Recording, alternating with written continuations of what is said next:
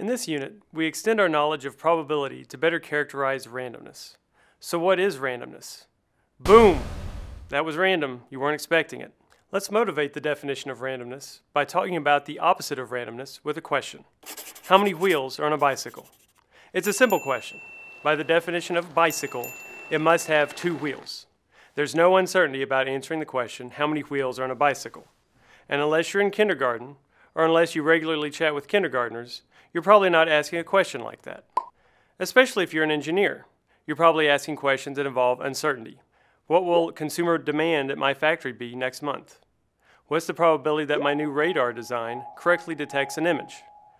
Can this new composite material withstand a particular load? Answering these questions likely involve observing some random observations, then drawing larger conclusions. Oftentimes, the answers to these questions require quantities that are described by random variables.